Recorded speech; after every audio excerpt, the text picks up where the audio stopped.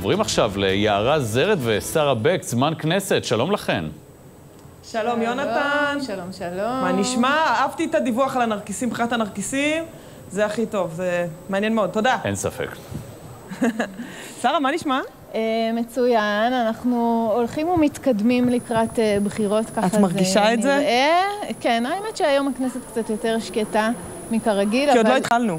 כן, אבל אה, זה ממש ממש אה, הולך אה, להיות כאן, ואנחנו טוב. מיד נדבר עם השר זאב אלקין, ונהיה עם תהילה פרידמן מכחול לבן. וחבר הכנסת בצלאל סמוטריץ' יהיה איתנו, יש לנו הרבה מה לשאול אותו, חוק אחרי שעלה שהם היום. אמרו שהם הולכים בעצם להצביע עם האופוזיציה. להפלת הממשלה. פתיח, מתחילים.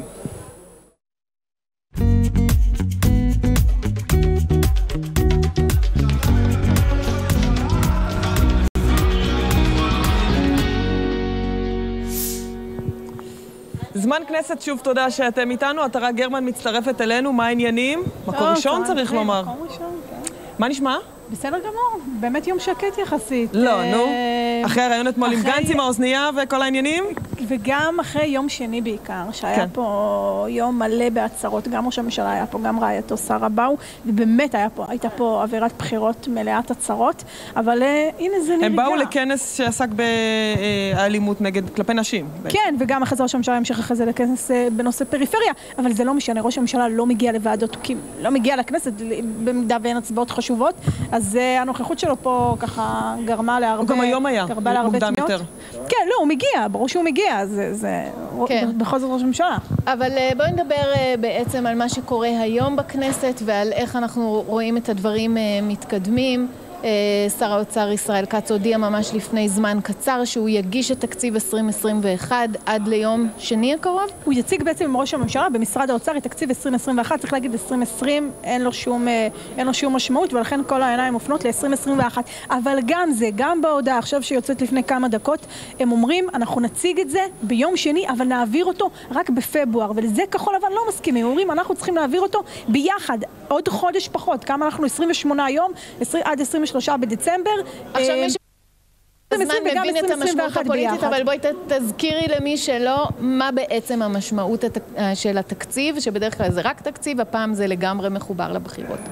נכון, ונסביר את זה, אני בטוחה שכבר דיברו על זה הרבה פעמים. במידה ותקציב לא עובר, הכנסת בעצם מתפזרת כי אין לה שום יכולת קיום, לא, לא לכנסת ובטח שלא למשרדי הממשלה. לפני שלושה חודשים החליטה הכנסת לדחות את מועד העברת התקציב במאה יום, מה שנקרא פשרת האוזר, והנה אנחנו 28 יום מאז שהמועד פוקע. אתמול בעצם מחליט בג"ץ שאי אפשר יהיה לדחות גם במידה והליכוד וכחול לבן ירצו שוב פעם לדחות את הפשרה הזאת, מתערב בג"ץ שוב פעם בהליכים של הכנסת ואומר אי אפשר יהיה לדחות את, ה, את, ה, את המועד של העברת התקציב אה, עוד הפעם, זה לא חוקתי, זה לא חוקי ולכן... בעצם בג"ץ, קודם כל הוא מתערב בחוק יסוד, צריך להגיד, חוק יסוד הכנסת הוא מתערב בחוק יסוד, שזה נושא לכשעצמו, נדבר על זה עם השר אלקין. בפעם הראשונה. שמיד יהיה, נכון, וזה גם הכנה לחוק הלאום, אבל בסדר. וגם הוא אומר, תנו לי תשובה עד אה, תוך תקופה, אבל זה בעצם, גם אם התשובה זה כבר יהיה אחרי הגשת התקציב. אבל אני רוצה לשאול... פיזור הכנסת. או פיזור הכנסת. אבל אני רוצה לשאול אותך לגבי התקציב שראש הממשלה ושר האוצר הבטיחו אה, לה, אה, להציג. מה כחול לבן רוצים? הרי בכל מקרה צריכים משהו כמו 75 ימים, זה עובר את הממשלה, זה עובר את הכנסת, זה אי אפשר לצמצם. 30 יום פה, 45 ימים פה, אי אפשר לצמצם את זה. אז הטענה היא שהתקציב מוכן. כן. שהטענה היא שהתקציב מוכן, אבל השלב האחרון בעצם שלפני אישור הממשלה לא נעשה, וזה המשא ומתן נקרא לזה מול השרים, מול משרדי הממשלה. ברגע שאתה פותח את זה מול המשרדים ומול שרי הממשלה, כל אחד כבר יודע כן. מה מגיע לו ומה לא מגיע לו. כרגע זה נמצא עוד בחדרים החסויים במשרד האוצר. מבחינתם, מבחינת כחול לבן, משרד האוצר, האורות שלו צריכים להיות דלוקים עכשיו, 24 שעות, 7 ימים בשבוע. כן, אבל ברור שכל 28 הסיפור הזה, ואנחנו שומעים. את זה גם מחברי כנסת של הליכוד, ש... ו... ומיקי זוהר אה, כבר אמר לי את זה בריאיון, יש פה גם עניינים פוליטיים, זה ברור שמשתמשים בתקציב גם בעניינים פוליטיים, ואף על פי כן, אנחנו רואים, למרות הניסיונות לכיפופי ידיים משני הצדדים, וכל אחד אומר שהשני הפר הסכמים, אנחנו כן רואים שיתופי פעולה בין אה, הליכוד לבין אה, כחול לבן, למשל בחקיקה. אה, שיתופי פעולה של ניסנקורן ואמסלם לדוגמה. כן, אבל לא הייתי מתרגשת מהדברים האלו. א', כי זה באמת דברים שהם בהסכמה והם מאוד קריטיים ונקודתיים, ואם הם לא היו עוברים ככה, אז הם היו עוברים בכנסת או בהוראות שעה. מטרה זה היה לא- משהו מעבר לעניינים של אלימות נגד נשים? כי אני הבנתי שזה היה ספציפית בגלל שהיום אנחנו מציינים נכון, את היום אז, הבינלאומי. אז, אז לא היה, בוא, בוא נגיד את האמת, לא היה שום כינוס פיזי של ועדת שרים לענייני חקיקה כבר שבעה חודשים, מהיום שה, שהממשלה הזאת הושבעה. זה היה פעם אחת, הם הגיעו להסכמות, ומאז יש פה קרב האשמות בין אמסלם לניסנקורן. הכנסת, אין לה, אנחנו פה בכנסת, כן? אבל אין, היא ריקה, אין לה שום, כן. שום יכולת תפקוד, אין לה שום, לח"כים, אין שום, מה- שום דבר לעשות פה, כשאין חוקים, כשהכנסת לא מחוקקת הצעות חוק שלהם, נתקעות בוועדת שרים, אפילו לא עולות לאישור, זה בעצם תוקע את אוקיי. כל המערכת הפרלמנטרית. בואי נדבר על, ה, אה, על ימינה שבעצם אה, החליטו בשבוע הבא, אה, ברגע שיש עתיד יגישו הצעה לפיזור הכנסת, הם הולכים לתמוך בזה. אה, ואנחנו אני רואה שאת מופתעת מה... נעשה פרצוף מופתע, מה כן, שנקרא. כן, לא יודעת, כאילו, בסוף הם באופוזיציה. הם בסוף- כאילו, מצפים מהם, כאילו, אה, להיות עם הליכוד או להיות חלק זה, בסוף הם, בסוף הם מפלגה באופ- באופוזיציה, והם מצביעים באופוזיציה, בוודאי, על פיזור והאמירה הכנסת. שאין כזה דבר ממשלת ימין. אין אנחנו בלוק הרי שמענו. קריאות אה, אה, לנפתלי בנט, בוא ת- תיכנס, ת- תהיה בכל לא זאת יודעת, לא שמעתי את הקריאות האלו. בוא תיכנס, בוא תתפשר אולי על מה שאתה, על מה שביקשת או מה שדרשת, היום זה כבר מאוחר מדי, בטח אה, ביחסים, בהתקפות של נתניהו ושל נפתלי כבר שהתחילו להיות מאוד אה, אה, אישיות וחסרות כן. טעם, אה, וזה באמת סתם עושה, סתם אני- עושה סלחו לי שאני חוזרת בלוק שנייה. בימין, אה, כאילו פיצוץ בבלוק הימין שכבר לא קיים. תסלחו לי שאני חוזרת שנייה שוב לתקציב. מה את שומעת מכחול לבן? אם אומרים להם התקציב מוצג ביום שני, וזה צריך לעבור דיונים של... אין מה לעשות, זה חייב לעבור אני דיונים. אז אני- מה אני מה אלך איתך אומרים? עוד צעד קדימה. אם ראש הממשלה, יש לו אפשרות לראש הממשלה בעצמו להעלות נושא שלא על סדר היום, זאת אומרת היום יש אה, הסכמה בין כחול לבן לבין הליכוד שרק נושאים שהם בהסכמה עולים לישיבת הממשלה. לראש כן. הממשלה עומד סעיף שהוא יכול להעלות הצעות קריטיות דחופות שלא על סדר היום, שלא על פי אישור. אם ראש הממשלה מביא תקציב 2020, רק תקציב 2020, בלי 2021, לישיבת הממשלה הקרובה ביום ראשון, האם כחול לבן חוט, אה, מאשרת אותו, חותמת עליו? אני אומרת שכן. התשובה היא לא. התשובה היא כן. התשובה אני היא כן. מסכימה עם ללא. דיונים, ללא דיונים, ללא... תראי, מה שיכול אני- לקרות, מה שיכול לקרות אני זה רק רוצה שנייה שהיועמ"ש, הסבר. אה, זה שהיועמ"ש יתערב ויגיד שבגלל שזה מדובר בחוק נפיץ ובהצעה נפיצה, אז, אז באמת אי אפשר לעשות את זה. אבל צריך אם הוא מביא את זה בלי הסכמה שלהם, תקציב שמגיע, צריך לעבור אה, 30 יום עם כל העניינים של הייעוץ המשפטי, ואז עוד 45 יום בכנסת. זה לא יכול להיות אחרת. אין, פה מה לשחק עם זה. ולכן אני שואלת, מה הם רוצים בכחול לבן? מה הם רוצים? אה, פברואר, אי אפשר לפני פברואר. אני כל הזמן שומעת אמר את זה אגב. ערן יעקב, ממלא מקום של אבל אגף אה, תקציבים. יערה, ברור לדעתי מה הם רוצים. אחרי הריאיון שגנץ נתן לידיעות אחרונות, ואחרי איילה פאודה, וזה ברור לה- מה הם רוצים. שהם רוצים. שהם רוצים בחירות. הגענו ברור. למצב הכי חמור בפוליטיקה, שהשאלה היא לא אם יש בחירות, אלא מי אשם בבחירות. וכשאתה מגיע לשאלה הזאת ולמצב הזה, אז אתה אז אומר... אנחנו כבר אז אנחנו בקמפיין. כבר, אז בדיוק, אז עכשיו אנחנו כבר טוב, בואי בקמפיין. נדבר כמה מילים. גנץ אתמול נותן ראיונות. אה, כאן אגב, הוא לא מתראיין, חבל, הוא זמן. הוא לא מתראיין, הוא לא הוא לא מתראיין. מתראיין לתקשורת אה, גם דתית וגם גם, אה, אה, ימנית. גם השר ניסנקורן. לא מגיע אולי להתראיין כי אין לנו כאן. אוזניות למרואיינים. יכול להיות. אולי. תגידי, מה לכם הסיפור של האוזניה? לכם יש, לכם... לא, גנץ היה אתמול עם אוזניה. אוזניה לא בחדשות לא, לא יודעת, 12? גם מירי רגב הייתה עם אוזניה לפני... כן. לפני- כן. האמת, אני לא מתרגשת בשביל מזה. הצחוקים זה נחמד, אני יכולה להגיד לכם כמי שמתראיינת, גם לא רק מראיינת, לפעמים נותנים למרואיין אוזנייה, סתם כדי שישמע שידור, או שישמע מה ש... לא יודעת, בואי, זה, הוא לא אמר, הוא לא, הוא, הוא בסך הכל טעה מהתאריך 21 בדצמבר ל-23 בדצמבר. הוא לא עכשיו אמר, אה, טוב, אה, לא הוא כן חשוד בפרשת. הצוללות, לא חשוב לא בפרשת נתעכב. איתו על זה, לא אבל... אני לא רואה נראה הרבה. פוליטיקאים שזה, זה נשאל- לא, זה בהחלט לא עובר מסך ולא אמין. על האמירה שלו ביוני בוויינט, שהוא אז אמר לא צריך להקים ועדת חקירה לעניין הצוללות, אז אתמול שאלו אותו. אז הוא אמר, עכשיו התשובה זה... הייתה מתחמקת מאוד. מה זה? תסבירי לי. רגע, בוא נגיד מה הייתה, הוא אמר, זה ועדת התשובה. בדיקה, לא ועדת חקירה, וגם יש עוד מידעים חדשים שמסתובבים בחוץ. אמרתי, הוא אמר, אמרתי שזאת ועדת חקירה, אז אמרתי שזאת ועדת חקירה פלילית. היום אני מקים ועדת חקירה ממשלתית. ועדת בדיקה ועדת ממשלתית. בדיקה ממשלתית. בלי סמכויות, כבר אה, יערה ואני בדקנו את זה, באמת אין לה כמעט שום, שום דבר, דבר. פלילי שיכולה לעשות באופן משמעותי, אה, בטח מול ראש, בטח מול ראש אולי הממשלה. נוסיף אה, מה שנחשף אתמול בסיפור המרכזי אצלנו בערוץ 20, שאחת מחברות הוועדה המוצעת היא אחת שעבדה ברכש במ- בתוך אה, משרד הביטחון, כלומר לאט לאט הד- הדבר הזה חשש לניגוד עניינים חריף בעניין. הזה.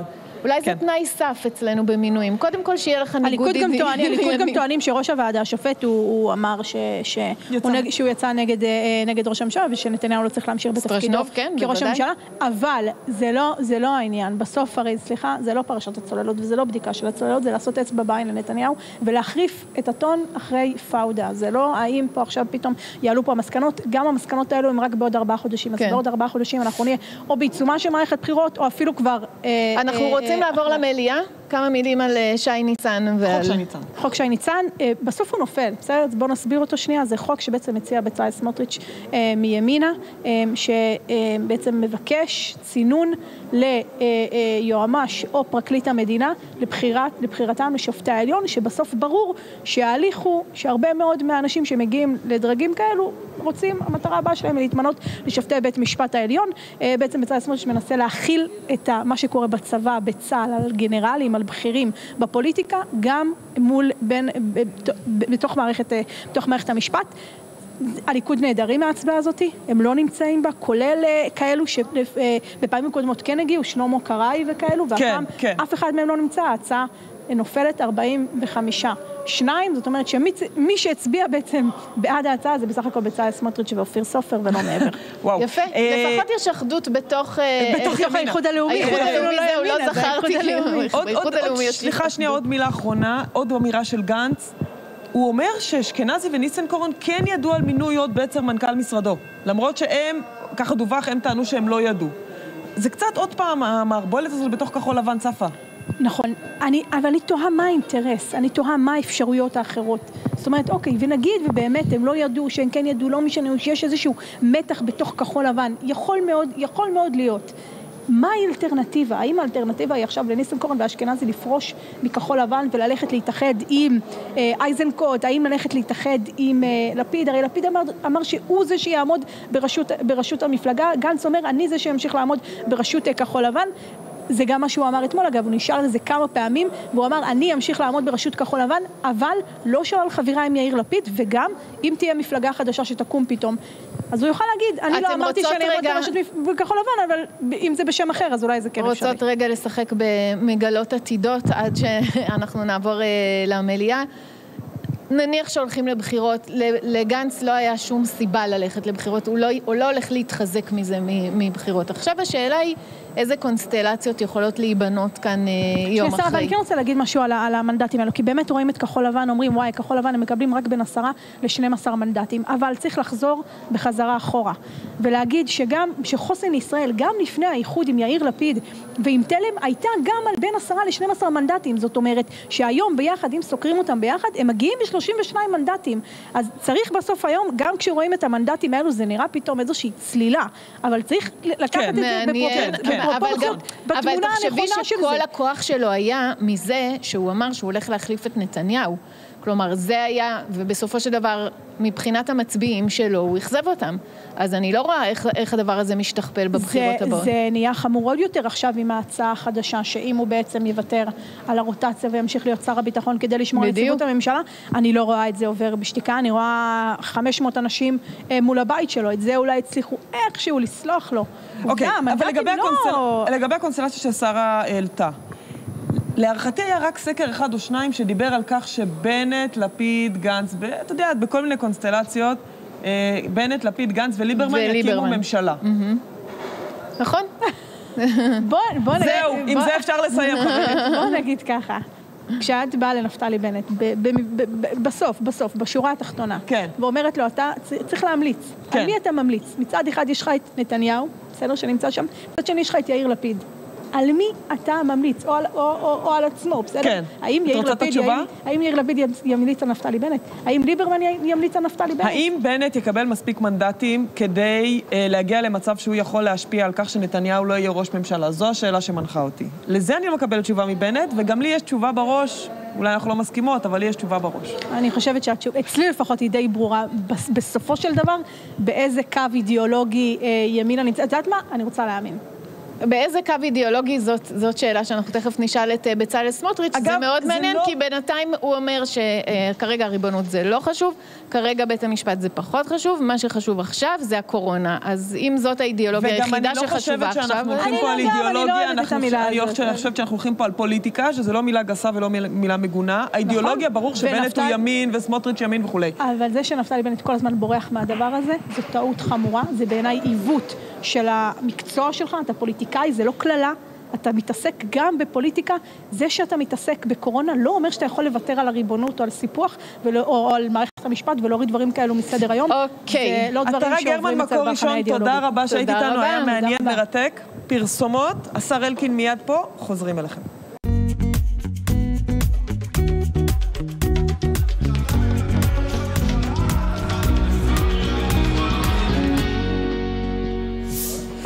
חזרנו?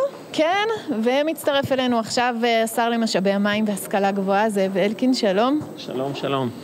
אז אה, אולי נדבר קודם על ענייני המשרד, אחר כך על הפוליטיקה. לא, לשם שינוי, זה לשם שינוי שינוי. מרענן. יש גם חיים אמיתיים חוץ כן, מפוליטיקה. כמים קרים על נפש עייפה, דיברת היום אה, עם, אה, נפגשת בזום עם שרת המים של איחוד האמירויות, לצורך מה? מה עלה שם? לצורך בניית תוכנית לשיתוף פעולה. אני חושב שנושא של המים זה אחד מהתחומים שמדינת ישראל מובילה בו בכל העולם, בטכנולוגיות מים, וזה פוטנציאל גדול לשיתוף פעולה. אצלם יש צורך, הם מאוד מעוניינים בשיתוף פעולה הזה, ובסוף זה כסף לכלכלה הישראלית. מים היום, פעם מים היה בעיה, היום מים זה מקור זה הכנסה. תחום יצוא, אה, מבחינת נכון, ישראל. בהחלט, מב- מאוד מאוד חשוב. אנחנו עושים את זה בהודו בפרויקטים ענקיים, ונעשה את זה גם באמירויות. סיכמנו איתה על זה משלחת שלנו, המים, נכון? שתצא לשם. לא רק, לא. לא רק, זה גם שימוש בטכנולוגיות מסוגים שונים. סיכמנו שיחד עם מקורות נוציא לשם משלחת בחודש ינואר, אה, אנשים שמתמחים בתחום הזה, ונכין גם הסכם שיתוף פעולה בתחום המים.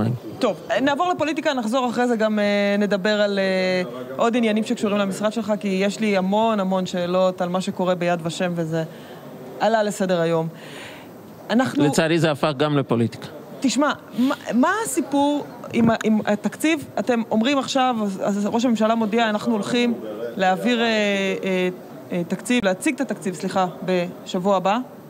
אז מה קורה? אז אין בחירות? נמנענו מזה? זה תשאלי את גנץ, הרי ראש הממשלה אמר בדיוק את מה שאמר ישראל כץ, אם את זוכרת, אחרי חג הסוכות. הוא אמר, הולכים להיערך להעברת תקציב בממשלה, דיבר שר האוצר על זה שזה יקרה בדצמבר כבר לפני חודש.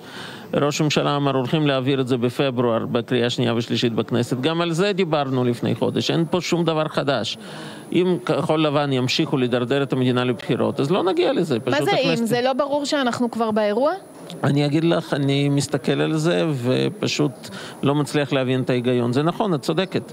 כחול לבן עושים הכל כדי לדרדר אותנו לבחירות ולפרק את הממשלה. למה? טוב, יש לכם גם לאלוהים חלק. פתרונים. אם, אבל אתם לא רציתם להעביר תקציב כמו שסיכמתם בהסכם הקואליציוני, אז גם הם לא, יכולים להאשים אתכם. ה- הסיטואציה מאוד מאוד ברורה. הבקשה לתקציב דו-שנתי הייתה בקשה של הליכוד, לא של כחול לבן, ולכן אם את עשית איתי הסכם, ואני באתי אלייך עם דרישה מסוימת שהסכמת, אבל אני בסוף לא רוצה את הדרישה הזאת, מותר לי למשוך אותה חזרה. ולכן מזמן הצענו להם, עוד בקיץ הרי הצענו להם, בואו נאשר תקציב 20 ונתחיל לטפל בתקציב 21. אם היו מקשיבים לנו, כבר היום היינו בשלב הסופי של האישור של תקציב אין בזה 21. שום עניין פוליטי? יש לכל מועד אישור התקציב, יש גם השלכות פוליטיות, כמו גם, כמו גם מצד כחול לבן וגם מצדנו. אוקיי. אבל אני לא מבין מה האינטרס של כחול לבן לטלטל את הספינה. הרי אפשר ללכת עם לוח זמן, הרי מה הם דורשים? בוא נניח, היום בני גנץ מתחלף עם ישראל כץ ונכנס למשרד האוצר. היום זה כבר את חוש- מאוחר מדי, את חושבת שהוא מסוגל לאשר תקציב שנת 21 בדצמבר? ברור שלא. Mm-hmm. אגב, גם אם הוא היה עושה את זה לפני חודש, אחרי סוכות, גם כבר לא. ולכן הדרישה מלכתחילה של גנץ היא דרישה לא מציאותית. עכשיו, מי שדורש דרישה לא מציאותית, אחת משניים, או שהוא לא רוצה שהיא תתקיים, או שהוא לא מבין מימינו ושמאלו בעשייה בכנסת, בעבודה פרלמנטרית, איך מאשרים אני תקציב, כמה יכולה זמן למנות התהליך אותך הזה לוקח. רגע להיות יועץ של גנץ? מה היית אומר לו? זה נכון אה, מבחינתו לפזר את הכנסת, ללכת אני לבחירות? חושב שאת יודעת מי יכול להיות היועץ הכי טוב שלו? לא אני. נו, פוליטיקאי לשעבר דווקא איש עם הרבה הישגים והרבה זכויות מול מדינת ישראל, שאול מופז, גם רמטכ"ל לשעבר. אוקיי. היה בממשלת אחדות עם הליכוד. באו אליו יועצים חכמים, אמרו לו, תפרק את הממשלה, תלך לבחירות, תלך על הראש של נתניהו והליכוד, תלך על הראש של החרדים בנושא הגיוס, תקבל המון המון מנדטים. מנדטים. את זוכרת מה קרה? מפלגה של 28 הפכה למפלגה של שני מנדטים. היום היא הייתה נמחקת, לא הייתה עוברת אחוז החסימה. אז אם גנץ מחפש יועץ, מה קורה כשמפרקים ממשלת אחדות, כשמבטיחים לך כל מיני דברים בחוץ, אני חושב ששאול מופז הוא היועץ הכי טוב. השר אלקין, מקים ניסנקורן ועדה לאיתור פרקליט המדינה. מקים גנץ ועדה לבדיקת אה, הצוללות. הליכוד לא, לא, לא עושה כלום בעניין הזה. מה, יהיה פה פרקליט מדינה על הראש שלכם? בטח שלא, הרי בסוף זה הכל ועדות ספינים. הרי uh, ועדה לעניין הצוללות זה ועדה מצחיקה, אין לה שום סמכויות. גם הכל כבר נחקר על ידי משטרה, גוף שבאמת יש לו סמכויות חקירתיות ונאמר הכל. לכן גנץ היה צריך באופן נואש ספין, חשב שזה יעזור לו, אגב לא עוזר לו בסקרים, כי אנשים לא טיפשים והם מבינים, תרגילים זולים כאלה לא עובדים עליהם. אותו דבר סיפור עם פרקליט המדינה, הרי ניסנקורן יודע, הממשלה צריכה לאשר פרקליט המדינה, אז אם הוא יביא... יש תקדים, משה אשר. לא, לא נכון. משה אשר, כל מה שחייבו את הממשלה וגם אחרי הרבה זמן וכולי, זה רק להביא את זה להצבעה.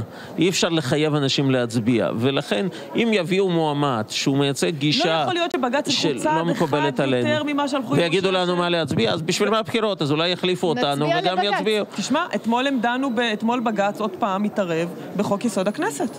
אני חושב שזה חמור מאוד. אני לא חושב שלבג"ץ יש איזושהי סמכות להתערב בחוק יסוד. בכלל יש שאלה גדולה על מה מתבססת סמכות לבטל חוקים, שלא לדבר ביטול חוקי יסוד. בעיקרון, אה, הס- הסמכות של מבטל חוקים זה אם חוק מתנגש בחוק יסוד. עכשיו הם גם נכון, לכן אין שום היגיון. יסוד. גם לפי ההיגיון של מהפכה החוקתית, שגם היא לא מבוססת על שום דבר מבחינת חקיקה. לפי ההיגיון אבל- של אהרן ברק. אבל גם לפי היגיון של ברק אין שום סמכות להתערב בחוקי יסוד, ולכן הדברים הם שקופים.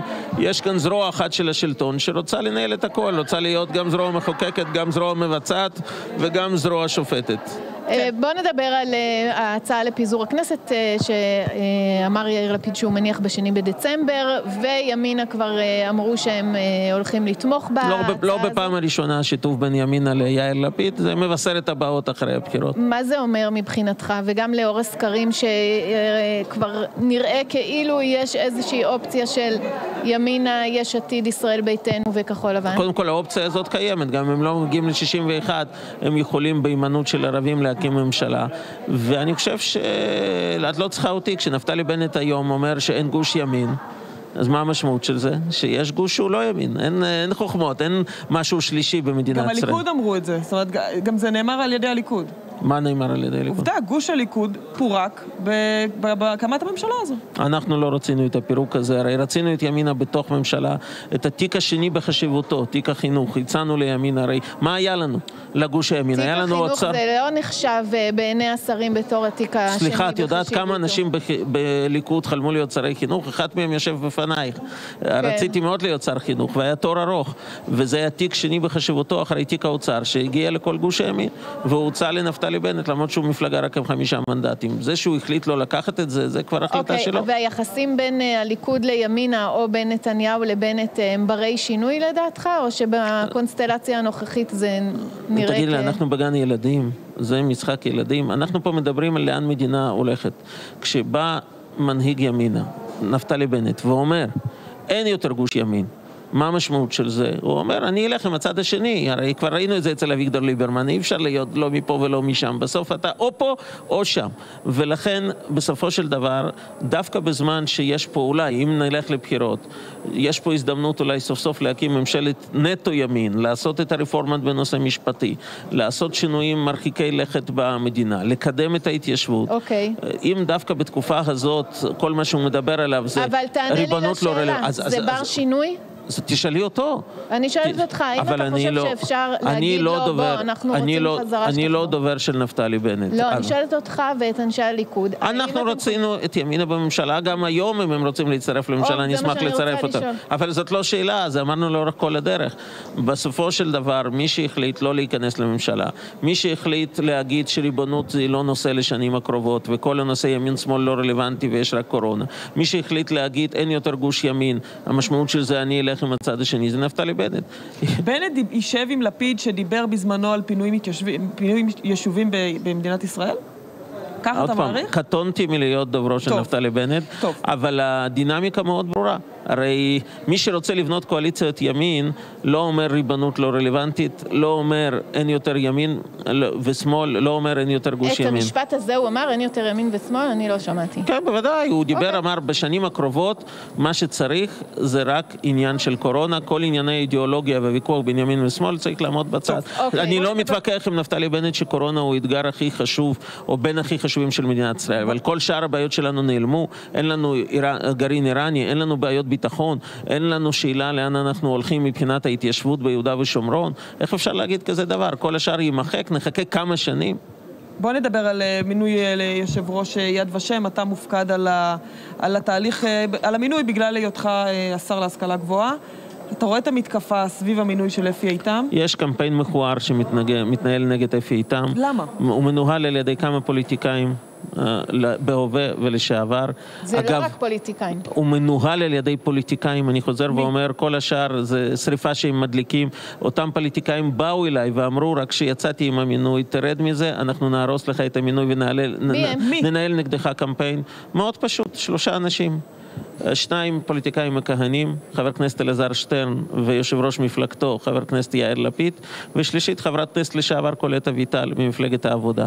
שלושה פוליטיקאים שלא בא להם בטוב נציג אה, שהוא איש ימין, יש בזה המון זה צביעות. הסיפור, או יש- המפה הגדולה זה- שלו, זה הסיפ- מה? זה הסיפור, זה שאפי איתם הוא איש ימין, זה שהוא חובש כיפה, זה הסיפור, הוא לא בא להם בטוב, ויש בזה המון צביעות. תסתכלו, יאיר לפיד, שכותב פה מכתבים לראש ממשלה כנגד המינוי הזה, ומדליק את הכל, יאיר לפיד שוכח עובדה פשוטה. אבא שלו, זיכרונו לברכה, טומי לפיד, התמנה לתפקיד יושב ראש מועצת יד ושם דקה אחרי שסיים קדנציה בכנסת כיושב ראש מפלגה מאוד מאוד קונטרוברסלית, אחרי התבטאויות מאוד קשות, גם נגד ציבור חרדי, שחלקו היה ניצולי שואה, ואגב, וגם מאשימים נגד את... ציבור ערבי, בדיוק. מאשימים את אפי איתם, מה שטומי לפיד אמר על ערבים חמור יותר ממה שאפי איתם אמר, אבל ראית קמפיין אז? וגם ראית. שמישהו התעורר אז? ראית שמישהו קם לפעול נגדו? אז אותו יאיר לפיד שיודע את כל זה היטב, הוא היום מנהל קמפיין וגם מטיף ואומר שהוא חושש שאפי איתם יעשה פוליטיזציה ביד ושם את מינה. יאיר לפיד וקולט אביטל נקנסו על ידי מבקר המדינה על ניצול פוליטי של רשימות ניצולי שואה, לא, באופן לא חוקי. אז האנשים האלה יטיפו לנו עכשיו, שברגע שזה איש ימין, אז הוא ינצל פוליטית את אז יד אתה ושם. אומר בעצם שזאת לא מתקפה רק נגד אפי איתם, זה נגד כל מה שהוא מייצג. ברור, חד משמעית, ולכן אני לא מתכוון להיכנע לא לקמפיין הזה, לא לסחטנות הזאת. הרי באו אליי כבר מזמן ואמרו, למה לך, למה לך לריב, בוא תביא מועמד יותר מקובל, אפילו הציעו לי כל מיני הצעות. תודה רבה לכל המציעים, אבל אני חושב שאפי איתם הוא מועמד ראוי ביותר, הוא גיבור ישראל, כל הניסיונות גם לחפש כל מיני בעיות שהיו בעברו הצבאי, אחד ממפקדי צה"ל הנערצים והמוערכים שהציל אנשים, סיכן את חייו לא פעם ולא פעמיים, גיבור מלחמת יום, יום כיפור, דווקא לבן אדם הזה לצאת בקמפיין כל כך מכוער, עוד פעם זה לא רק נגדו, זה נגד הימין, המינוי- זה נגד הציונות הדתית, זה נגד קציני צה"ל, לפי ההיגיון הזה מחר יבוא קצין צה"ל אחר, גם יגידו עליו, לא כדאי שתהיה, כי עוד ימציאו עליך שגם, אני אגלה לך סוד, גם על בני גנץ וגם על גבי אשכנזי יש מי שבחו"ל טוען שהם פושעי מלחמה, אז אולי גם הם לא כשירים אהוד לשום ברק. תפקיד. אה, יש, יש משהו שונה בפרדיגמה שעד היום שלטה ביד ושם בחקר השואה, לעומת מה שאפי איתם יביא? מה שאנחנו מדברים על תהליכים ומדרון חלקלק. יש ויכוח גדול איך לראות את השואה, האם קודם כל כאירוע לאומי מעצב בתודעה שלנו כעם ישראל, או כאירוע אוניברסלי שהוא צריך להיות עוד אזהרה ואין הבדל בין זה לבין עוד אירועים טרגיים אחרים שהיו בעמים אחרים. אני באופן ברור מייצג את הגישה שרואה בזה אירוע לאומי. בשבילי שואה זה גם אירוע אישי. בקבר של סבא שלי, זיכרונו לברכה, שהיה ותיק מלחמת העולם השנייה ועבר את כל המלחמה, יש, ליד הקבר שלו יש מצבה. יש שם שמות של יותר מעשרה. בני משפחת אלקין שמקום קבורתם לא נודע, וואו. כולם נרצחו בשואה. זה, זאת התמונה שאיתה אני גדלתי, וואו. זה מה שאני מכיר, זה מה שבשבילי שואה. והיום הנרטיב של יד ושם, או מאז שבעצם חידשו את יד ושם, ובשנים האחרונות, הוא הולך לאיזה כיוון? זה מאוד מעניין, הוא מותקף מכאן ומכאן. אנשי שמאל מתקיפים את יד ושם ואומרים שהוא לאומי מדי והוא לא מספיק אוניברסלי. תראי כתבות בעיתון הארץ שתוקפים את הנהלת יד ושם. טוב, הארץ מצ... זו דוגמה באמת לאנשים מאוד בדיוק לקצה, לקצה השני, ומצד שני יש לא מעט, אה, אני שמעתי לא מעט תלונות ופניות מקצינים שעוברים שם כל מיני הדרכות, מצעירים שמביאים לשם, שיותר מדי לוחצים דווקא על הנרטיב האוניברסלי. לכן כנראה שיד ושם פה איפשהו באמצע.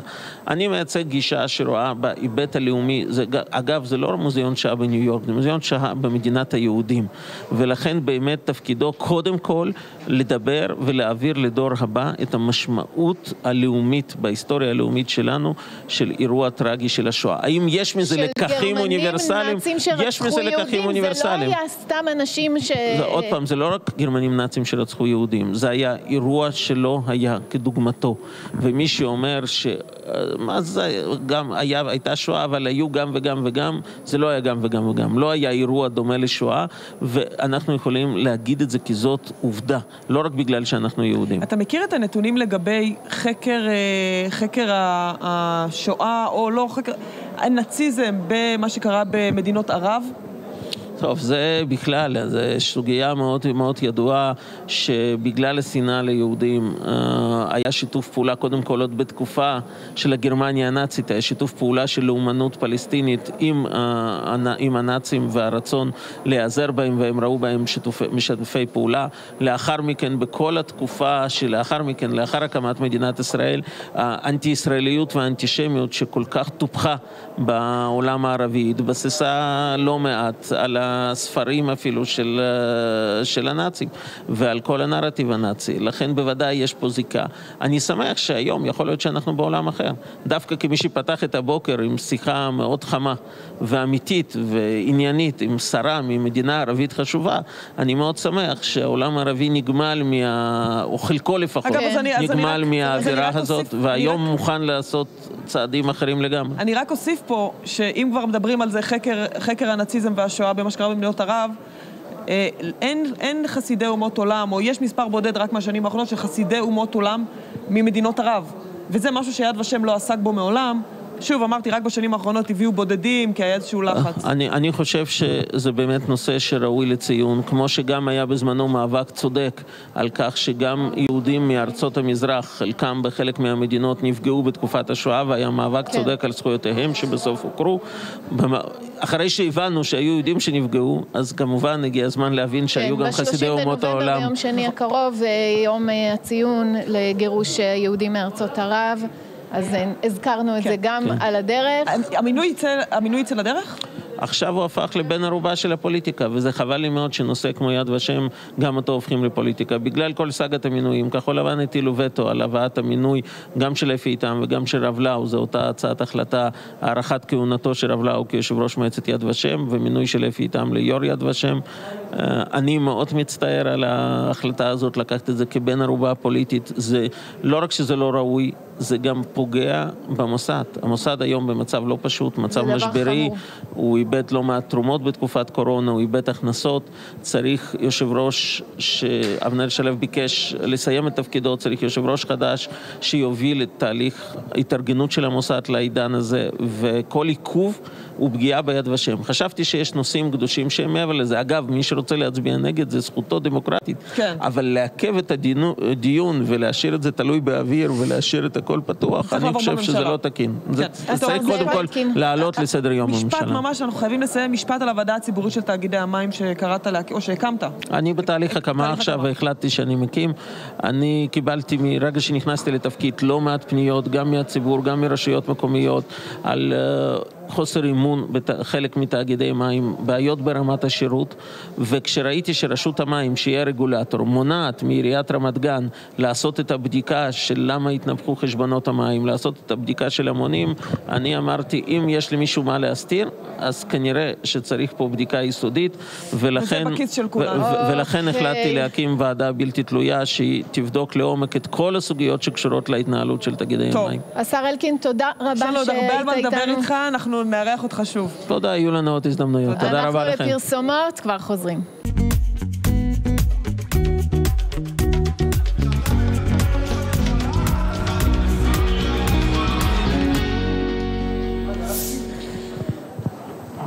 חזרנו. מלא כותרות עם השר אלקין. כן. לא, אה, לא זכור לי שהוא התבטא ככה לגבי השר, אה, אה, לגבי המינוי של אפי איתם בכזה תשמעי, שקיפות. הסיפור של אפי איתם זה באמת שם לנו על השולחן מה שאנחנו כל הזמן רואים, הסיכולים של הקידום של אפי איתם עוד מזמן הצבא ושל אחרים כדוגמתו, זה דבר שראינו כל הזמן.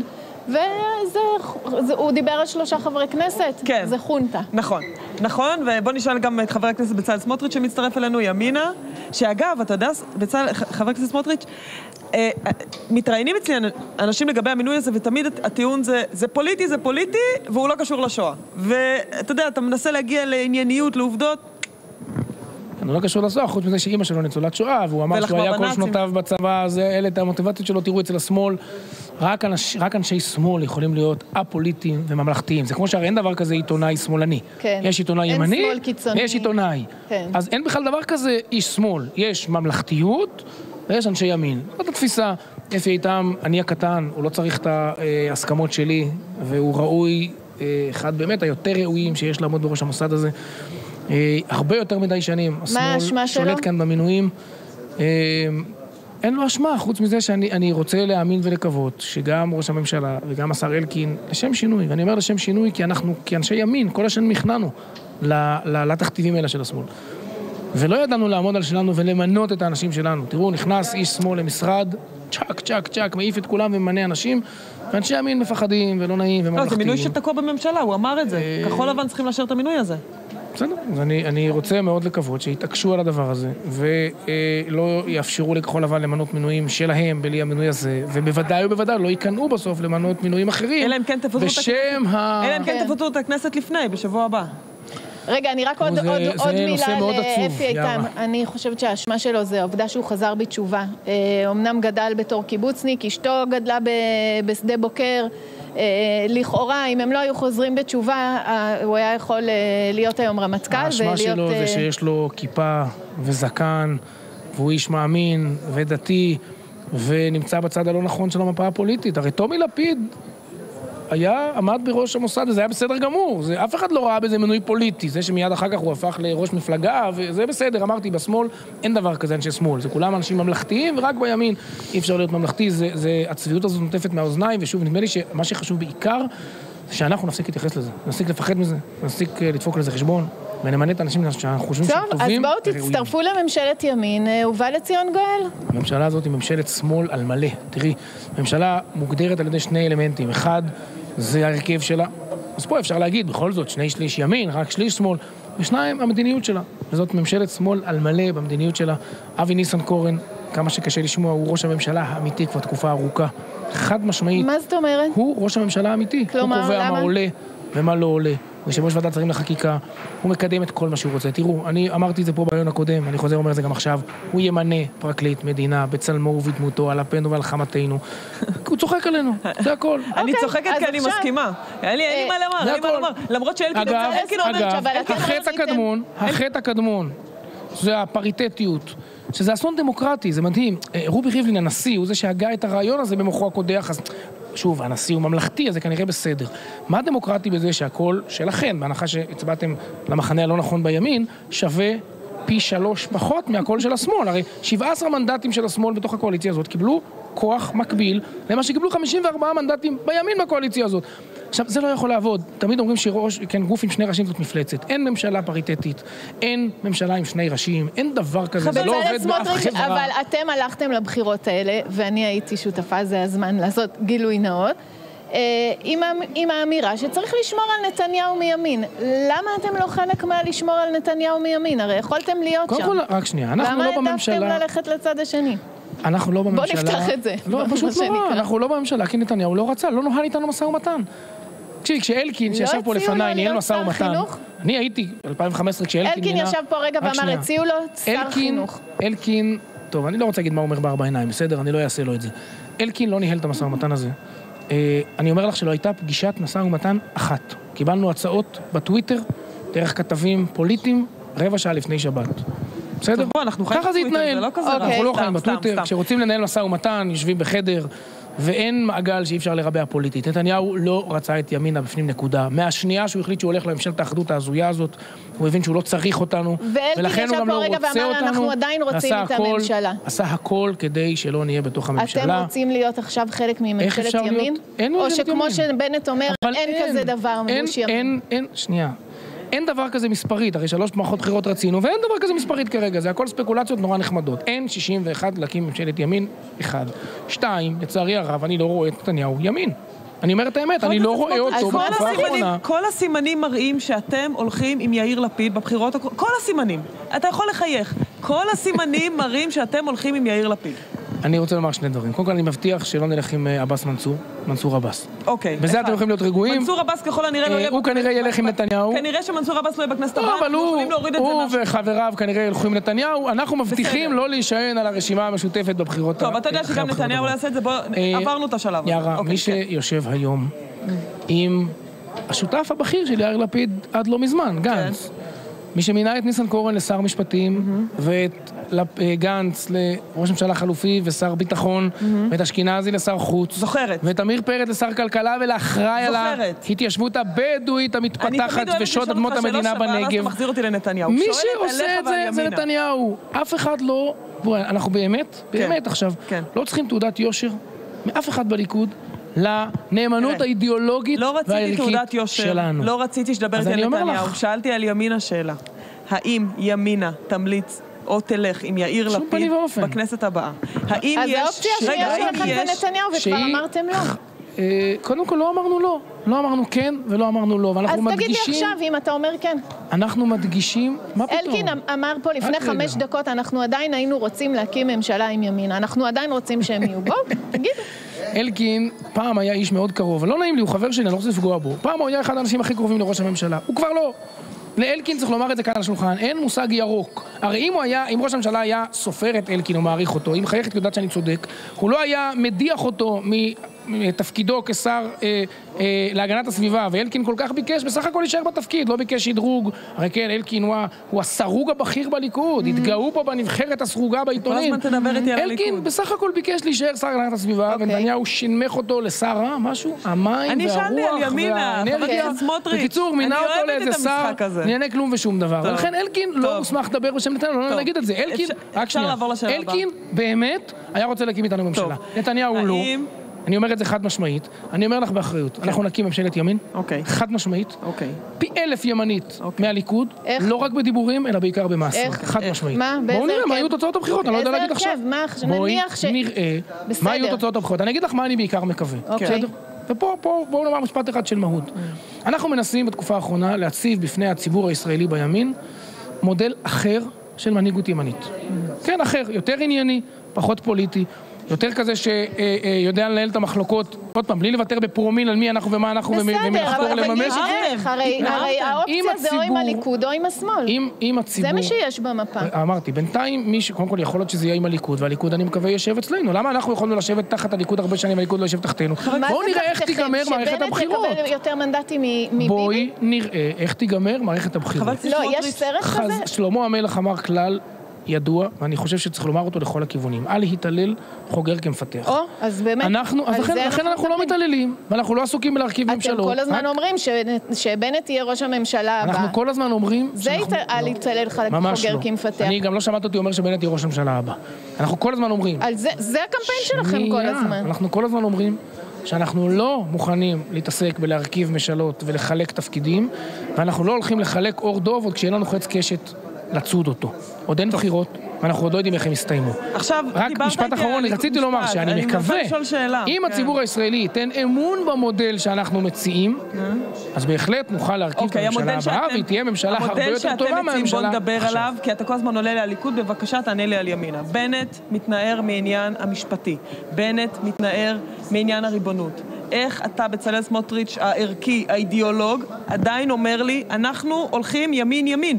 בנט אומר, אני מתנער בקדנציה הקרובה ממערכת המשפט.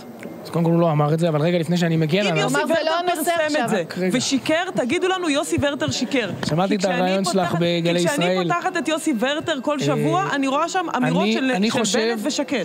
אני חושב שהסקופ שיוצא מהרעיון הזה זה שאני קוראת הארץ, לא הכל אני קוראת, קוראת, עזבי רגע, לא. רציתי להגיד שאת קוראת בלי ניקוד, לא, כן. עזבי רגע. זה שאת מאמינה ליוסי ורטר, זה בסדר גמור. אוקיי, אז הוא משקר. רגע, אני שמעתי ודאי שהוא בעצמי, משקר, אבל תנו לי רגע לא לומר, רק רגע. רק שנייה. כן. קודם כל, ימינה מורכבת משתי מפלגות, ואני אומר את זה שוב ושוב ושוב. בנט ואני זה לא אותו דבר, זה נכון. בנט עומד בראש מפלגת הימין החדש. ימינה מורכבת הוא מארבע, מצהיר, דרך אגב. לא, ימינה מורכבת משתי מפלגות. מפלגת הימין החדש של בנט, שהיא מפלגת ימין כללית, ומפלגת האיחוד הלאומי, שהיא מפלגת, מפלגה ציונית דתית, בראייתי, מפלגת הציונות הדתית היחידה שנשארה רלוונטית. ואני הולך להישאר כזה, והחיבור בינינו יהיה חיבור שבו כל אחד שומר על זהותו ועל עצמאותו ועל ערכיו. יש בסיס מאוד גדול של מכנה משותף שמאפשר עבודה משותפת.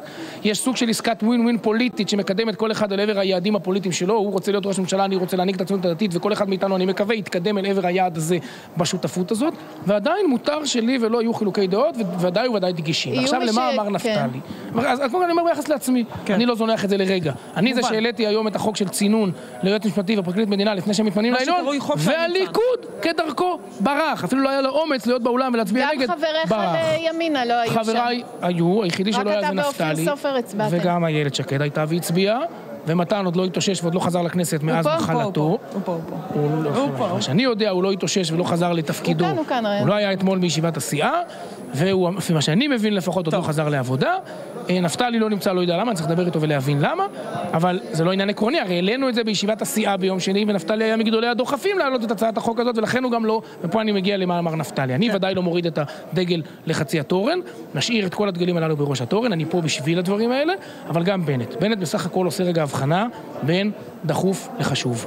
ויש רגע שבו מתעסקים בדחוף, כי הוא קריטי. זה לא בא במקום החשוב, ברור לפחות שזה, למיטב אבל ברור שזה הבנתי ענייני קמפיין. וידיעתי. דחוף וחשוב, כולם יודעים מה דחוף וחשוב, אבל אם לא. דחוף וחשוב לו להגיד, עכשיו, בשנים הקרובות אני לא מתעסק בריבונות כי יש קורונה, זה מפני אם ה- שדחוף וחשוב לו תראי. לקחת קולות גם מהשמאל, כדי שהוא יהיה אלטרנטיבה כאילו כל, לנתניהו. קודם אנחנו כל, כולנו יודעים אה, את זה.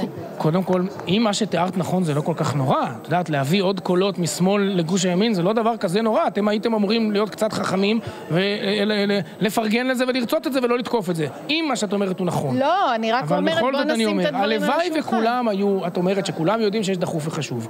אם כולם היו יודעים שיש דחוף וחשוב, הממשלה הזאת לא הייתה מתנהלת כפי שהיא מתנהלת בקורונה. זה כבר נכון. מזמן היה לנו תקציב מדינה, וההחלטות כאן היו מתקבלות בצורה יותר עניינית ואמיתית, כי היו מבינים שיש דחוף, כן, יש חשוב לנתניהו, ויש חשוב לגנץ, ויש דחוף. והאחריות של מנהיגים זה לדעת לפעמים לטפל בדחוף, ולהציל את מדינת ישראל ממשבר גדול. אני לא בטוח שכולנו מבינים מה המשמעות, שאנחנו מגיעים לאמצע השנה הבאה, וחבילות הסיוע במשק נגמרות, ולא מיליון, חצי מיליון מובטלים נפלטים למשק בלי חבילות סיוע. מה זה אומר כשאין להם הסבה מקצועית, ואין להם, כי הם ממשיכים לריב ביניהם בממשלה הזאת ולא מצליחים להביא את ההחלטות האלה. אנחנו מדברים הרי על אנשים שימשיכו לעבוד מהבית. משרדי, אה, בנייני משרדים יישארו ריקים, אז שומרים ואנשי החזקה ואנשי ניקיון מאבדים את הפרנסה שלהם ומזכירות אוקיי. וכולי, מאבדות את יש הפרנסה. טעות שאתם אנחנו לא. מבינים את, האירוע, את המשמעות של האירוע הזה לכלכלה הישראלית, אוקיי. ובזה צריך להתעסק. יש לא במקום, שאתם עשיתם, אתה להתעסק בזה. מסתכל על השנה האחרונה מאז הבחירות, יש משהו שעשיתם לא נכון, או שאתה חושב שכל הצעדים שעשיתם הם היו נכונים? בוודאי שלא, מה, עשינו- הרבה דברים לא נכונים. אה, איך אומרים, ישבנו יחד באותו מטה בחירות. אני חושב שההתנהלות של הציונות הדתית בשלוש מערכות הבחירות האחרונות הייתה שגויה. אני יכול כל הזמן לנסות לומר שאני השתדלתי לעשות מה שאני יכול הכי טוב, אבל בסוף זה לא משנה. כולנו נראינו רע מאוד. טוב. וזה חלק מהתוצאה. בוא נדבר. וחלק מזה שאנחנו מתנהלים היום אחרת. ונפתלי ואילת ואני מצליחים להיות חברים, ולפרגן, ולשתף פעולה, ולא לתדרך אחד לשני על הראש, ולא לתקוע מקלות אחד לשני כן, בגלגלים. אבל בסוף אתה רץ איתם ולהפך, שהם- לשתף כמה שיותר פעולה, ואני חושב שזה חלק ממה שהציבור הישראלי אוהב, ה-20 ומשהו בסוף אתה מנדטים. רץ איתם שהם מתנערים מהערכים שאתה דוגל בהם. הם לא מתנערים, יערה.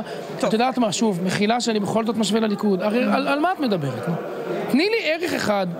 ירדו על מתן כהנא, את ירדת על מתן כהנא. אני ירדתי? שאמר בריאיון, אני לא, ראיינתי. שהוא אמר בריאיון, אבל ירדת עליו באותו ריאיון, שהוא אמר בריאיון שהוא מוריד לשני שליש תורן, הוא הוא רק אמר.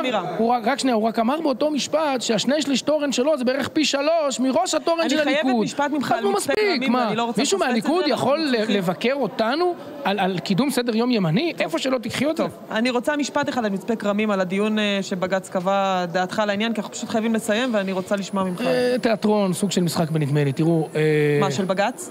אני לא זוכר מי היה השופט שם שהכריע בהחלטה לקיים דיון נוסף. היה שם חיות ו... לא, לא, לא, לא, לא, מי היה השופט שהכריע בבקשה לדיון נוסף? אז בסוף ההחלטה, בשורה למטה, הוא כותב שמספר השופטים במותה וזהותם תיקבע על ידי הנשיאה. זו אותה נשיאה שפסק הדין שלה הוא זה שעומד בפני דיון נוסף, היא הרי לא תרצה כמובן שיהיה זה, אז היא תקבע את ההרכב והיא תקבע את המספר. זה משחק שסופו ידוע מראש. לצערי הרב, אני התנגדתי להגשת הבקשה הזאת, להערכתי, ואני, מה לעשות, חי את בג"ץ כבר 15 שנה עוד ברגבים. כן. להערכתי, פסק הדין בהרכב המורחב שלו רק ימסמר ויקבע את פסק הדין הראשון בצורה עוד יותר גרועה ויותר שמשמעותו. מסוכנת. פינוי? זה הרבה יותר קשה, זה לא רק מצפה כרמים, הרי סעיף 5 בנו עליו. מנדלבליט תלה את ההתנגדות שלו לחוק ההסדרה, הוא אמר, יש לי פתרונות אחרים, הנה דוגמה סעיף 5, ואז גלגלו אותו מכל המדרגות. אין פתרונות אחרים, אני אומר את זה פה כן. חד משמעית. הפתרון היחידי לא רק למצפה כרמים, לאלפי בתים ביהודה ושומרון, זה פסקת התגברות, ואז חוק ההסדרה מחדש. אין שום פתרון אחר, ומי שרוצה לשחק בנדמה לי ולבזבז זמן, ואני עם בג"ץ גמרתי לשחק, אין לי אמון, וכשאין אמון אז אני גם לא מתאכזב אף פעם, לא התאכזבתי מהצו על תנאי ההזוי לחלוטין שאתמול הוא הוציא לחוק יסוד הכנסת, וזה פה עובר בשקט. פניתי אגב היום ליריב לוין, אמרתי לו, תשמע, עניתי מכתב ליושב ראש הכנסת. אני מצפה ממך להנחות את הייעוץ המשפטי של הכנסת, לא לשתף פעולה עם ההליך הזה. בכלל. תכתבו לבג"ץ משפט אחד, אין לך סמכות לא להתייצב לדיון, לא לנמק, לא להסביר, אין לך זכות להתעסק בחוקי יסוד. הכנסת בשבתה כרשות מכוננת לא משחקת איתך את המשחק, הרי אנחנו נהיה ניצבים okay. בתיאטרון של בג"ץ ואז ניתן גם לגיטימציה, כי היינו חלק מהמשחק. צחק עם עצמך. תודה רבה שענית על כל השאלות. תודה גם לכם. תודה רבה, חבר הכנסת בצלאל סמוטריץ', ימינה, עוד מעט בחירות, נראה אתכם. תודה רבה. אה, אנחנו עוברים אה, למבזק החדשות. אה, יונתן איתנו כבר. כן, זה נכון, אני איתכם. אנחנו עוברים למבזק. יונתן, אנחנו אליך. אנחנו רוצים לחזור עכשיו לכנסת, שם נמצאות יערה ושרה, שלום לכם. יונתן, תודה רבה, תודה, תודה. אנחנו uh, ממשיכים כאן, ואנחנו רוצים קצת לדבר על היום uh, החשוב הזה. בכלל, זה היה כל השבוע, ואנחנו ככה נתרכז לזה. Uh, יום uh, שמתייחס לאלימות כלפי נשים. יום המאבק באלימות uh, נגד נשים, uh, uh, אחרי האירוע שהיה כאן. ביום שני, שאת הנחית אותו. אנחנו רוצים לדבר עם אחת הדוברות שם, שלג בן שטרית, שמצטרפת אלינו עכשיו. שלום, שלג. שלג... אה, אני, ברשותכן, כן, כן. אה, שלג, אני רוצה לקרוא אה, שיר שאת כתבת, חלק ממנו, ופורסם בנושא של היום הזה. אני חושבת שהוא מבטא מאוד מאוד יפה את העידן המיטו. וההבנה שהדברים שנשמרו הרבה מאוד זמן בלב של הרבה מאוד אה, נשים יוצא החוצה, אה, וזה הזמן בעצם לצאת לאור השמש. נראה שהעולם מפגין את כל מה שנשמר בבטן שנים, בחדרי חדרים ובחוצות הערים, הקיצו נרדמים. כל פעמונים, כל היונים המבשרים פסקו מהתמהמהותם ושבו נשים מגבולן אל חופשן.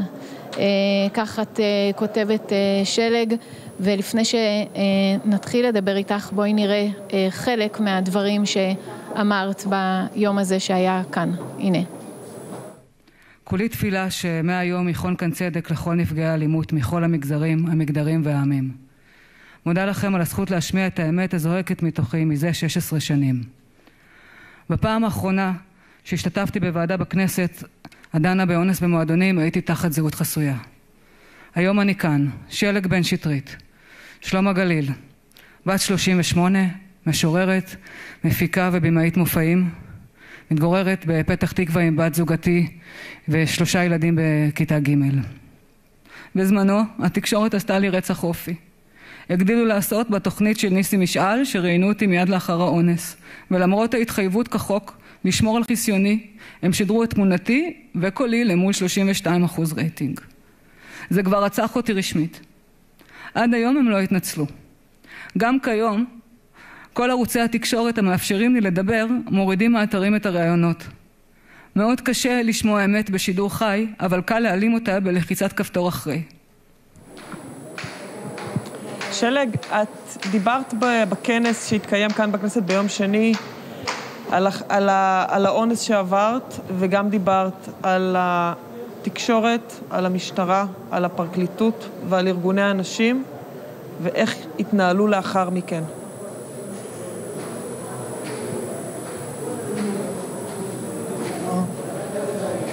עברתי כל כך הרבה בשנים האלו, מכל ההיבטים, מכל הבחינות, ולעמוד במעמד כל כך מרגש, ולדעת שמקשיבים עכשיו, ולראות את זה בראי של יומיים לאחור, ולהבין שיכולתי... אה, נורא מתרגשת, כי הבאתם ממש חלקים מאוד מאוד... אה, מאוד קשים מה, מה, מהנאום שלי, וזה... זה, זה... אם התרגשתי בכנסת, אני חושבת שאני יותר מתרגשת עכשיו. אז תסלחו לי רגע.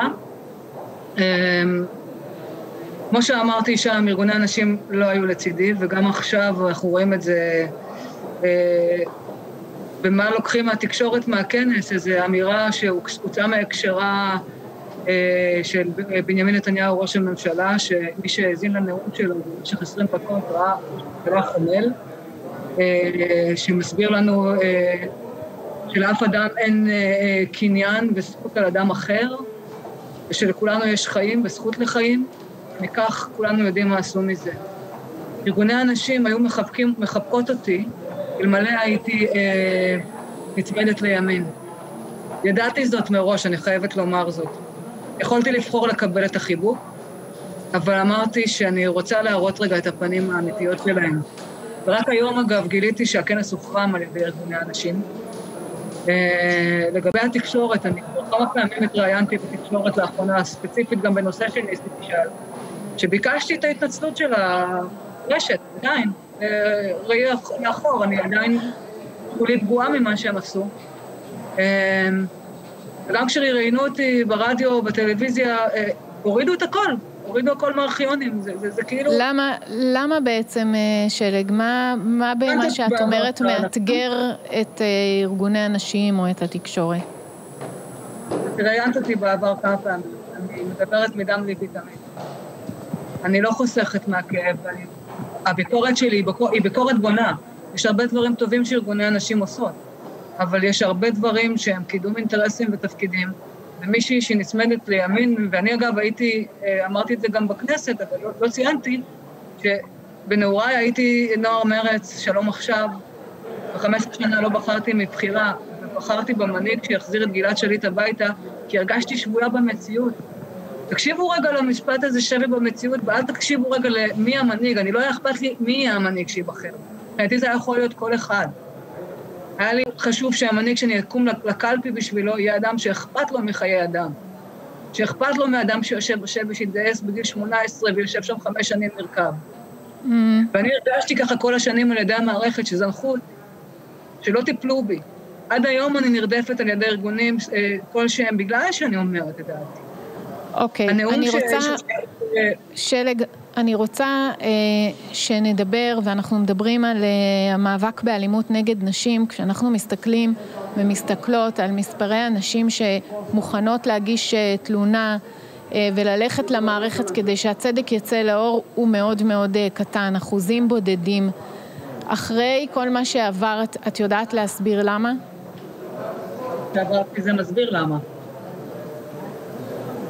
אני חושבת שסיפרתי היטב אתמול בכנסת מה עברתי בחקירות ארוכות, צולבות, שאת לא מרגישה קורבן, את מרגישה מואשמת, שמעמידים אותך לעימות מול האנס, והוא קם לתקוף אותך כמה פעמים ואין מי שישמור עלייך, והעימות מופסק, ומי שמבין עניין משפטי יודע שהרי הכי חשובה זה העימות.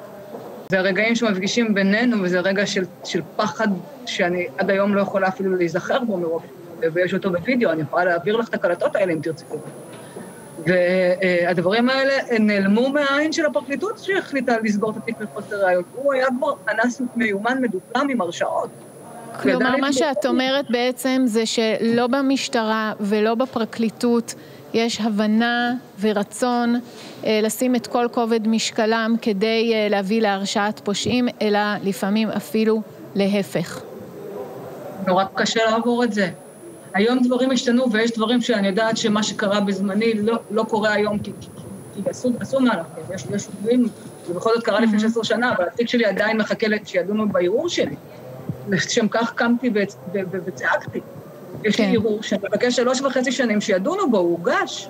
כן. הפקדתי 20 אלף ש"ח פקדונות אה, אה, שאספתי מכסף שהציבור תרם לי בערב שהפקתי לעצמי. כי אף אחד לא עזר לי בארגוני הנשים, הם אמרו לי, אם נעזור לך, נצטרך לעזור לאחרות. וזה היה האות ההתפתחות שם במשפט הזה. כי אני עזרתי שנים לארגונים. שלג בן שטרית, אה, תודה על הדברים הללו. אנחנו... אני מניחה שעוד אנחנו נשוחח אה, בהמשך. אה, והלב איתך ותודה על הדברים הכנים שאמרת כאן. תודה. תודה לכם, תודה על הכל שאתם... צריך הרבה הרבה מאוד אומץ כדי לצאת עם הסיפור שלך החוצה, קודם כל כדי להתלונן ואחר כך כדי להמשיך ולהגן על, זה מזעזע שצריך להגיד, אבל להגן על, ה, על הסיפור שלך אל מול התקשורת ואל מול מי שתקף. וזה מסביר מאוד את המספרים הנמוכים של מי שהולכת בכלל להתלונן. אחרי הפרסומות, תהילה פרידמן, חברת הכנסת כבר איתנו, אחרי הפרסומות אנחנו מיד נמשיך איתה את הקטע הזה. רצינו מיד, אבל פרסומות מחייבים אותנו. אז פרסומות ואנחנו חוזרים עם תהילה פרידמן.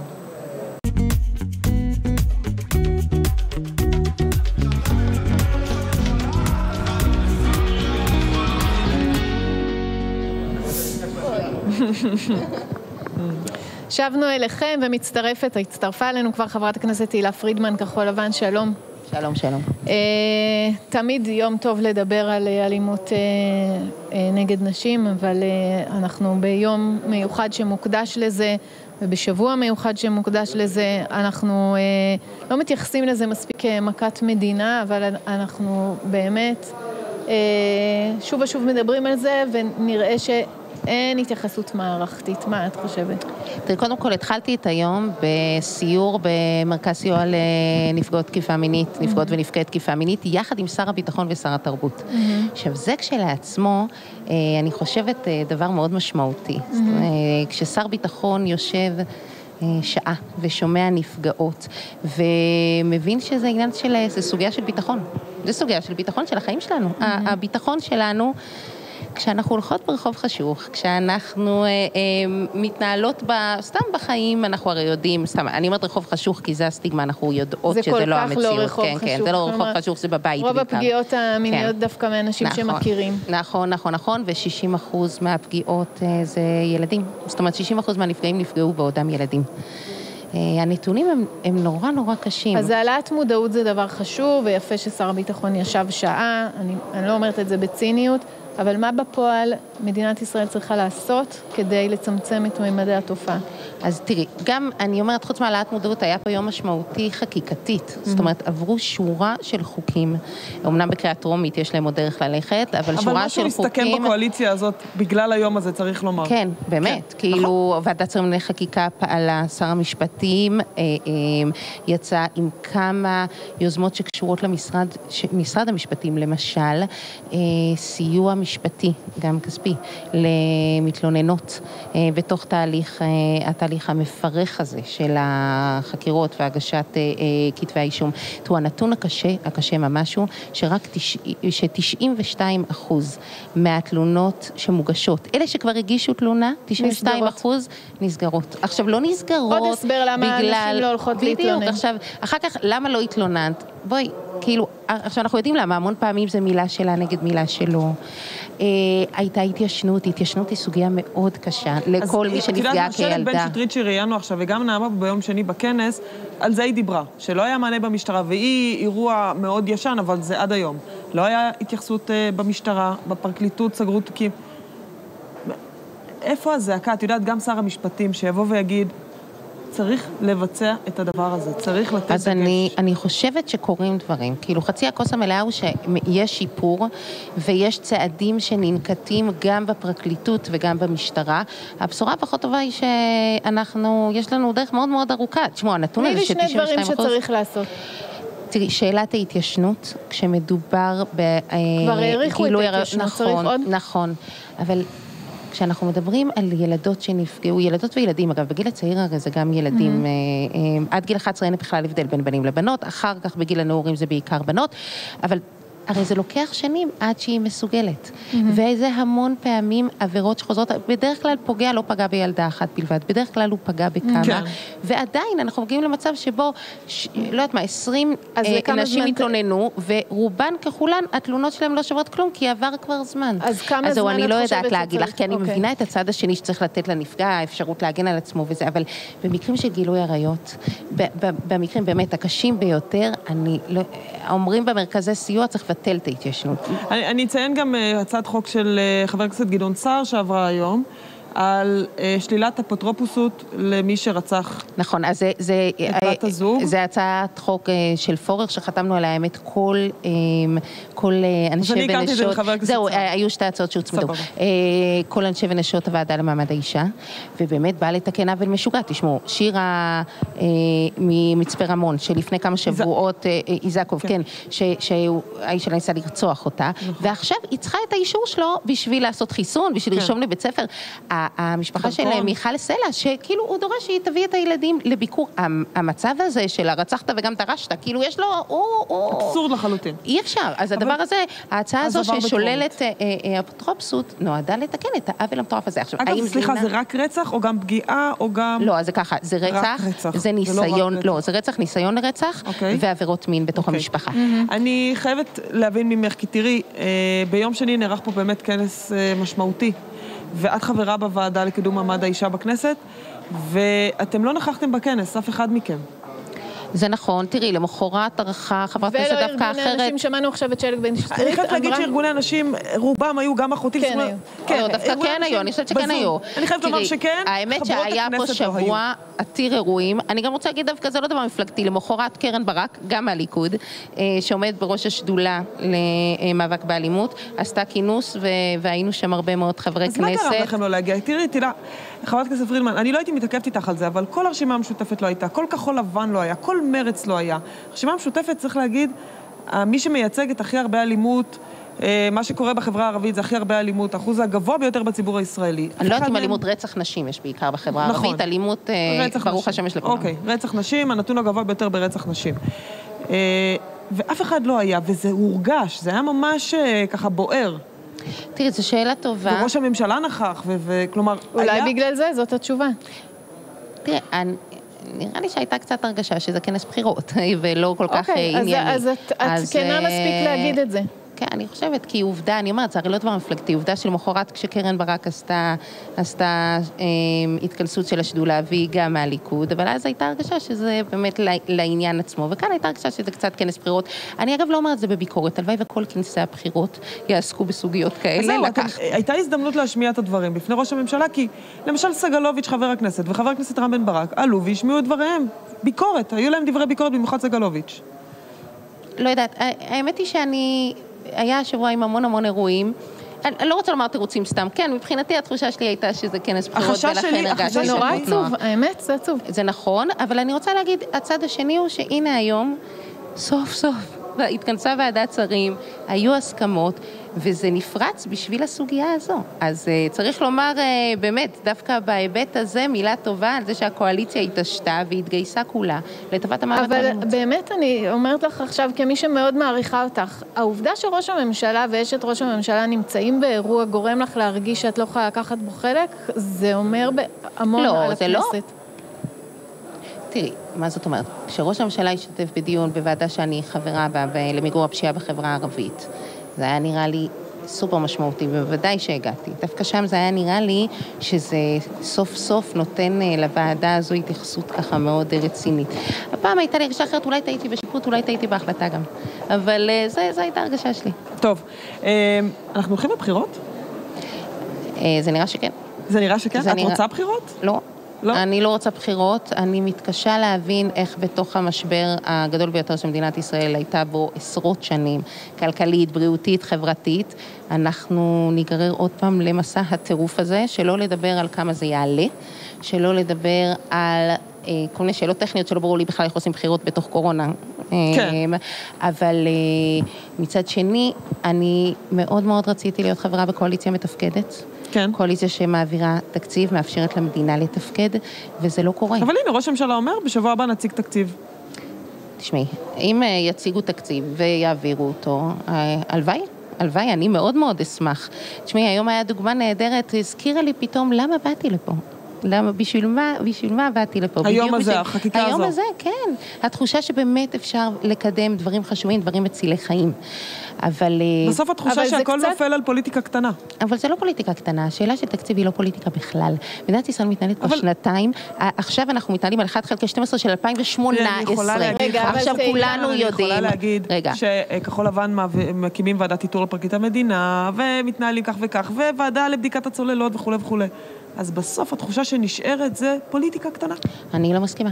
יש המון... יש חשיבות לא, עכשיו בתקופת קורונה להקים דברים- ועדה לבדיקת הצוללות? לא, יש המון דברים שאת יכולה לומר שהם פוליטיקה קטנה. תקציב זה לא פוליטיקה קטנה. וועדה לא לבדיקת להעביר. תקציב זה פיגוע נגד הצוללות. המדינה, זה לא לאפשר לרשויות מקומיות תכנון, זה לא לאפשר לעמותות תפקוד, זה לא לאפשר אבל- לאנשים, ל- ל- כאילו אבל מדינה לא יכולה לחיות בלי תקציב. אבל עכשיו, שעזבי, אני לא הולכת איתך לא בכלל.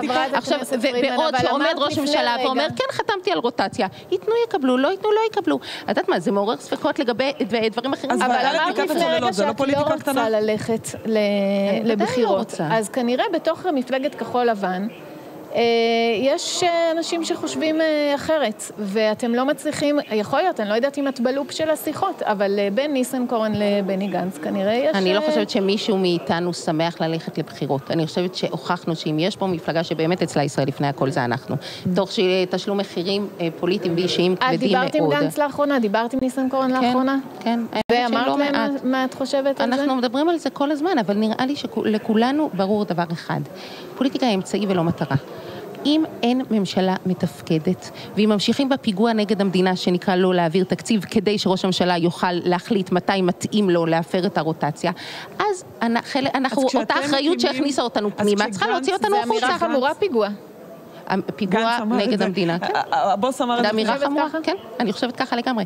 אני לא יכולה להבין איך לגיטימי בעיני מישהו שאינטרס של אדם אחד עומד מול הצורך של שבעה מיליון, לא יודעת כמה אנחנו, שבעה מיליון, תשעה מיליון. תלוי את מי סופרים, של תשעה מיליון אנשים, לא לגיטימי אז בעיניי. את רוצה להגיד לי שיש צידוק להקמת ועדת, ושוב אני שואלת, להקמת ועדת בדיקה לעניין הצוללות? עכשיו, בתקופת קורונה, אנחנו רוצים לטפל בקורונה. מיניתם את עוד בצר, הקמתם ועדת בדיקה לצוללות. עכשיו תקופת אני קורונה. לא חושבת.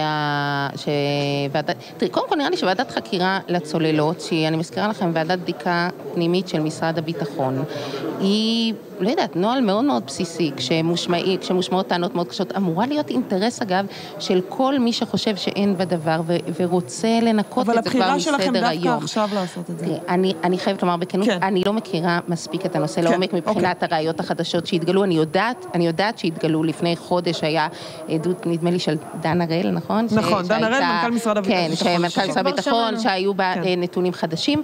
ואני חושבת שכן, צריך לעשות את זה. טוב, הדברים ברורים. חברת הכנסת הילה פרידמן, כחול לבן, אה, בהצלחה בבחירות. תודה. הילה פרידמן באמת אה, לא רוצה אה, לא. לגשת לבחירות. יודע שאני... היא ועוד. רבים תודה. שמבינים שאם זה בחירות זה לא בטוח שהם חוזרים לפה. כן. תודה רבה, חברת תודה. הכנסת פרידמן. אנחנו עם נועה קירל, אגב. כן, היה פה, סיפור עדי ביטי, VS, תהילה פרידמן. אה, תתעדכנו בגיא פינס וכאלה. אה, אוקיי. אבל היה מעניין, תביעות דיבה, רצון לתביעות דיבה וכולי וכולי. אה, כן. אז. הגענו לסיום היום. מעניין. מאוד גם מאוד אלקין, גם מעניין. סמוטריץ', המון אמירות. אה, בהחלט, אה, ובעיקר ההבנה שזה על חזור לחלוטין, אנחנו עמוק בבחירות. כן, התחושה גם מהתשובות של, של חברת הכנסת פרידמן, אה, לגבי ועדת הבדיקה לצוללות, עכשיו צריך מידעים חדשים וכולי, גם גנץ אמר את זה אתמול, גם האמירה פיגוע, גם גנץ אמר אותה בעבר. כן, בסדר, אנחנו אבל מבינים לאן אני, זה הולך. אני מצפה מ- מאנשים. אה, אה, כן, לא מבינים- יקריאו רק דף מסרים, אז היא אמרה, זה באמת מה שהיא מאמינה בו, בסדר כן, גמור. לגבי התקציב, ונראה מה יהיה בשבוע הבא עם התקציב. שרה, תודה רבה. תודה רבה אנחנו גם לך, תודה רבה גם לכם שהייתם איתנו. להתראות.